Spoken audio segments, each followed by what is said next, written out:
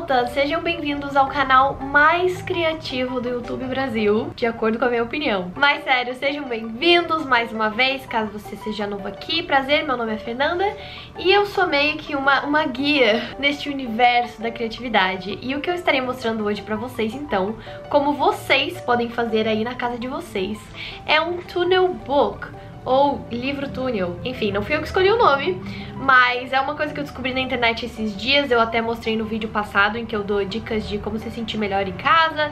Essa foi uma das coisas que eu fiz no vídeo. E sério, essa é minha mais nova, assim, obsessão. Eu tenho visto vários outros modelos, tendo ideias de como a gente pode fazer diferente, e eu vou estar tá falando aqui para vocês neste vídeo, porque eu já fiz outro. Eu não perco tempo. Esse aqui foi feito então com cartões postais e esse com uma foto. Mas vamos chegar mais perto pra entender o que, que é isso. Esse é o tipo de coisa que é difícil de mostrar assim, sem vocês estarem conseguindo pegar na mão, mas eu vou tentar fazer o meu melhor. Ele abre assim, então, ele é dobrável. E como eu comentei, esse aqui eu fiz com um cartão postal. Então gera uma imagem pronta, pré-definida. E daí eu venho e recortando, faço essas camadas e fica esse efeito super legal, sério, na mão, isso aqui fica assim muito fascinante. Todo mundo que pega fica assim bem encantado. E esse aqui é o cartão postal original, então foi uma colagem digital que eu fiz com mulheres inspiradoras, mulheres que têm histórias assim maravilhosas. E aqui atrás eu fiz um textinho que era no Dia das Mulheres e comentei um pouquinho da história de cada uma. Pois bem, eu tinha esse print porque eu vendo na minha loja, inclusive foi muito legal que da última vez que a gente abriu, a gente arrecadou uma grana para o Instituto da Marielle Franco, foi super especial. Mas eu tenho vários desses cartões postais que foram usados como mostruários em feiras que a gente participou. Então que tem, por exemplo, que nem esse aqui, um pequeno furinho em cima que a gente usou, ou enfim, tá usado né? Então a gente não vai vender. Então, eu fiz um upcycle, peguei alguns desses cartões, que eram mostruário, e fiz isso aqui. Então, uma, já era uma arte, eh, levou ao quadrado com outra arte. Eu já comentei como eu sou apaixonada por essa, essa ideia de arte sobre arte. Mas você pode fazer isso de basicamente qualquer imagem, contando que você tenha planos diferentes, como é o caso de fotografias. Que esse aqui, a minha mãe, ela viu aquele que eu fiz e ela falou, meu, quero fazer de uma foto, me ensina. E daí a gente sentou juntas e fez esse aqui, que é uma foto muito divertida. Isso foi em um hotel da Disney que a gente foi visitar e tinha Ariel enorme. E daí eu na hora já vi que, meu, essa é uma ótima foto pra usar pra isso, porque tem muitas camadas, então é importante falar um pouquinho, caso você queira escolher uma foto pra você fazer aí na sua casa. E os dois é necessário oito cópias. Então aqui foram oito fotos iguais, a gente mandou imprimir, e aqui foram oito cartões postais iguais. Para esse efeito que vocês veem aqui, foi isso que a gente usou. Então, no final das contas, você consegue ver a imagem inteira, não só aqui pela frente, como pelos lados, e nesse caso, aqui atrás também. E no cartão postal ficou ótimo, porque como eu tinha texto atrás, a pessoa também consegue ler o texto inteiro. Caso você quisesse, por exemplo, dar de presente para alguém, você também pode colocar uma mensagem. Então aqui já vão algumas ideias. Eu vou ser bem sincera, esse é um trabalho para os fortes. Porque, gente, tem que ter paciência, né? Não dá pra disfarçar que é uma coisa trabalhosa, mas na minha opinião compensa muito, porque quando você vê isso pronto, é um sentimento, assim, mágico.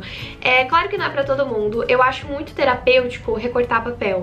E pra isso aqui, eu usei, na verdade, é como se fosse um estilete, só que no caso eu uso um bisturi mesmo, porque eu quero a ponta mais fina que eu conseguir achar. O ideal é você cortar com um estilete estilete. Se você tiver uma imagem que não seja assim tão picadinha, tão cheia de detalhe, daí você talvez consiga com uma tesoura, também dependendo do papel. Esse papel aqui, então, ele era bem grosso, porque ele era de cartão postal. O meu postal, ele é laminado com uma coisinha pra dar aquele toque, se chama soft touch, que fica um toque gostoso na mão, sabe? Então ele é meio que o papel e mais essa película. E esse aqui é papel de foto. Eu já te recomendaria você imprimir qualquer uma das coisas num papel sulfite, num papel offset, lá por 120, 180 gramas, de preferência assim pra foto, 180. E aqui dos lados, dos dois, eu usei pra fazer o mecanismo papel vegetal. Porque eu gostei, eu que inventei isso, você pode usar qualquer papel. Eu recomendo papéis mais finos pra poder você ter essa dobra aqui bem agradável de ir e vir, mas você usa o que você quiser. Eu acho que vegetal fica lindinho, fica discreto, eu gostei muito da forma como ele dobra e ele não amassa tanto quanto um sulfite. Falando em recortar papel, este momento é para todo mundo que pede o tutorial do diorama retro iluminado. É um nome meio estranho, né? Mas, gente, vai vir, tá? Vocês têm que só ter um pouco mais de fé e esperança e paciência. Tá virando meme esse negócio. Às vezes eu tô, assim, prestes a dormir e a qualquer momento vai chegar alguém falando Cadê o tutorial da caixa do Pateipan? Mas, enfim, vai dar tudo certo. Vocês precisam acreditar. E eu vou fazer um pouco diferente. Já voltamos pro Tunnel Book, mas caso você não tenha visto isso ainda, eu fiz esse diorama, que é meio que uma espécie parecida disso aqui, porque envolve cortar papel com muitos detalhes mas eu prometi um tutorial que ele nunca veio por motivos de sustentabilidade. Isso aqui foi feita de um isopor que eu comprei, que eu fiz na faculdade. E que eu não quero, não quero apoiar, não quero incentivar ninguém a comprar isopor, porque não é uma coisa legal. Então estou achando um jeito mais sustentável. Fiz um teste que deu errado, mas o próximo teste, ao que tudo indica, vai dar certo. Ou não, não tem como eu saber. Então, para você fazer o seu próprio Tunnel Book em casa, tudo que você vai precisar é oito cópias da sua imagem de escolha, vale ser uma colagem digital, uma ilustração, ou você pode até tentar fazer direto de papel mesmo, não precisa ser impresso. Você pode fazer uma única imagem aqui e deixar esses lados sem a imagem repetida. Gente, é infinitas possibilidades, é isso que me anima tanto, que você pode criar muito em cima disso. Por isso que eu gosto de pegar técnicas que eu vejo no YouTube e testar, porque daí eu aprendo o mecanismo e depois eu consigo criar em cima dessa ideia. Então, de resto, o que você precisa mesmo seria o papel vegetal ou um papel fininho da sua escolha para fazer o mecanismo aqui de dobra.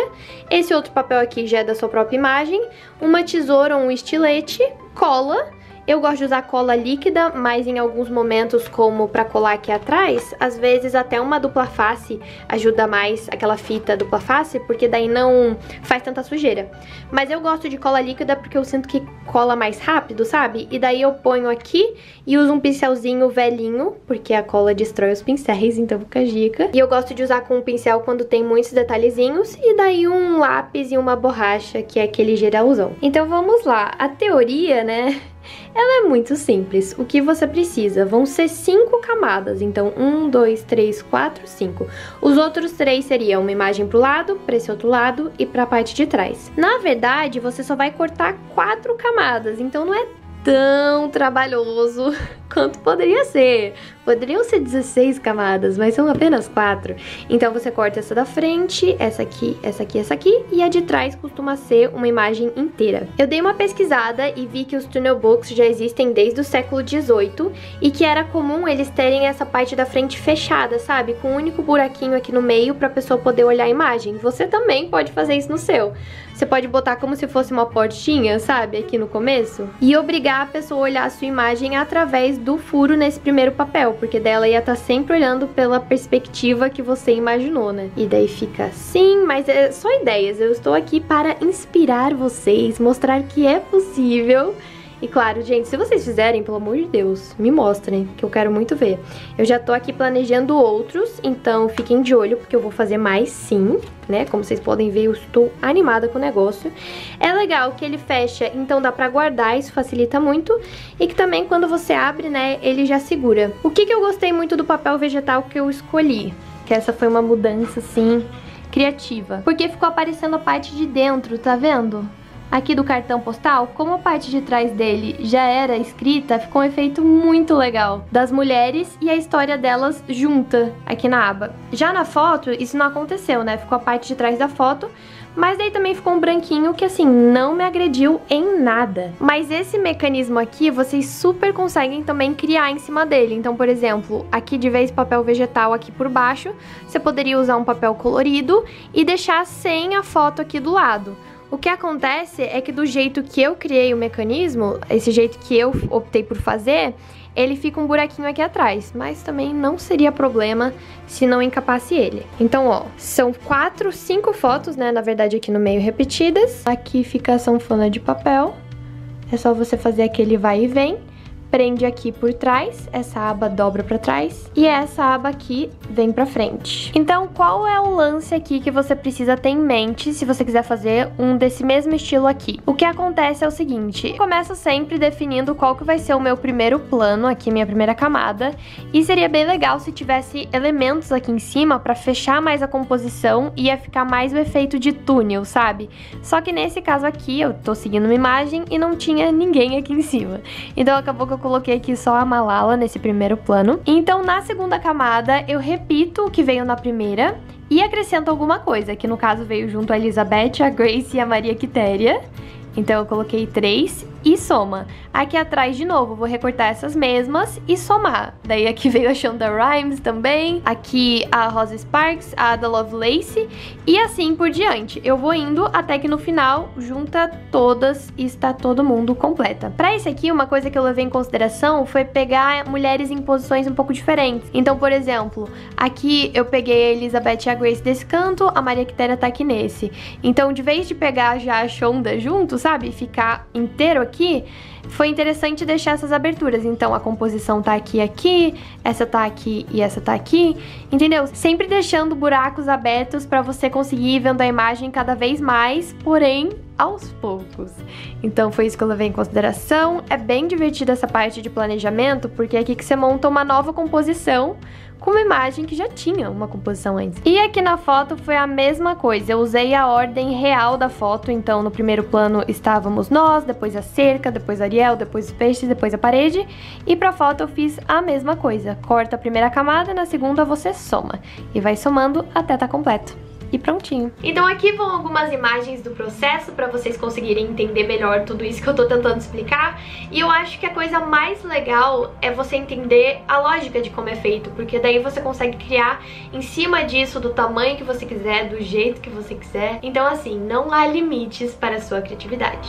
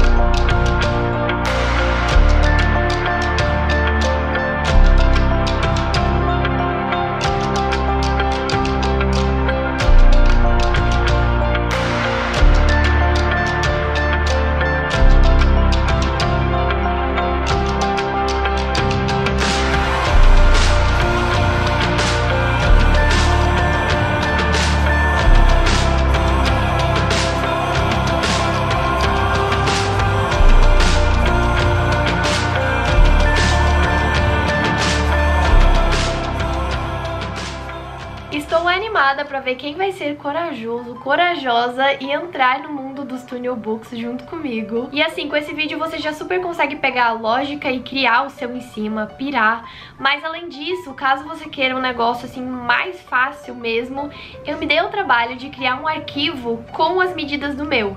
Então, com o mecanismo mesmo, só pra você imprimir e recortar e daí você pode usar também a bodinha como molde. É tudo explicadinho. Eu fiz um arquivo bem com instruções, bem mais tutorial assim mesmo caso você ache que precise. E eu coloquei na minha loja por um preço bem baratinho.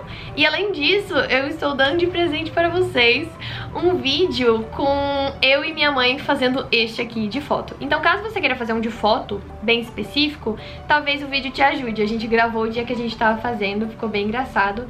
E daí lá naquele arquivo eu meio que retomei tudo que já falei nesse vídeo aqui, só que tá lá por escrito, mais descritinho. E você tem o que é mais legal e eu vou estar usando nos meus próximos próximos o arquivo para só imprimir.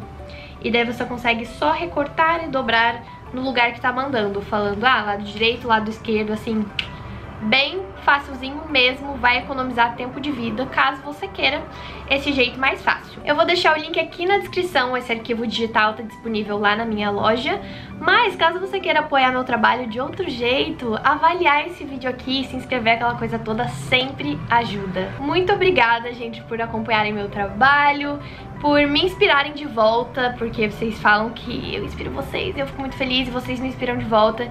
E descobrir coisas que nem essa me deixa muito animada. Inclusive, eu fiz uma outra arte. Putz, vou dar spoiler aqui, hein, pra quem ficou até essa parte do vídeo. Parar com isso. É que eu vou mostrar lá no Insta. Porque esse aqui eu não fiz vídeo mesmo. Era um experimento que deu certo. Aleluia. E é isso, sem mais spoilers. Vejo vocês nos próximos vídeos, instas, tiktoks, tudo isso. Um beijo, continuem criativos.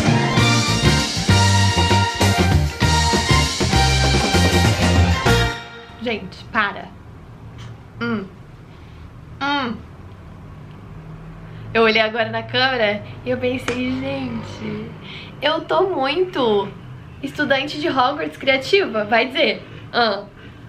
A gente já sabe que se existisse uma Hogwarts das artes, né, eu tinha que estar tá lá.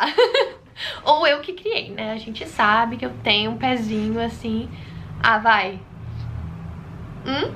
Como se chama essa casa? A casa do tie-dye. Fica aí a dica. Coloque nos comentários, por favor. Vamos criar essa casa. A casa da criatividade de Hogwarts, dos artistas. Por favor.